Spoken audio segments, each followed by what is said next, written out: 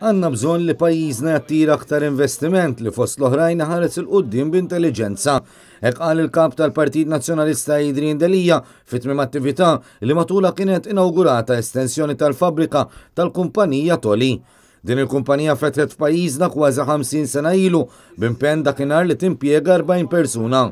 u llum grazzi għal diversi aġġornamenti fil-ħidma tagħha timpjega mijiet ta' persuni. Dan huwa l-investiment li għandna bżonn f'pajjiżna. Għandna bżonn investiment li jħares 'il quddiem, illi joħlom, li huwa kapaċi, li huwa intelliġenti, illi jkun il-brand ewlenija fis-settur tiegħu. Il-familja li welldet lil Toli f'Malta kienet ħarbet minn pajjiżha u sabet kenn fostna fl-1969, sentejn qabel ma nfetħu l-bibien tal-ewwel fabbrika tagħha. Andy Gatesy, iċ-Chairman u Kap Eżekuttiv tal-kumpanija, spjega li l-ideal tagħhom dejjem kien li jaġixxu daqs li kieku huma familja kbira.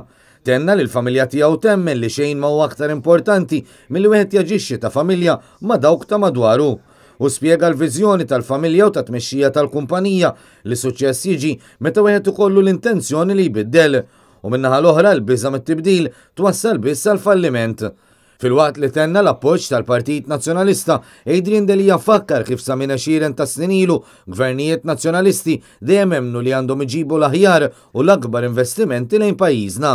Aħna bħala partit nissapportjaw, aħna bħala gvernijiet preċedenti dejjem emminna fihom u naħsbu illi jrid ikun hemm inċentivi iktar, inizjattiva iktar. Min-naħa tiegħu l-Gvern għandu jara li jsir dak kollu possibbli biex ikun imħares dejjem l-investiment barrani li għandna f'Malta u f'Għawdex.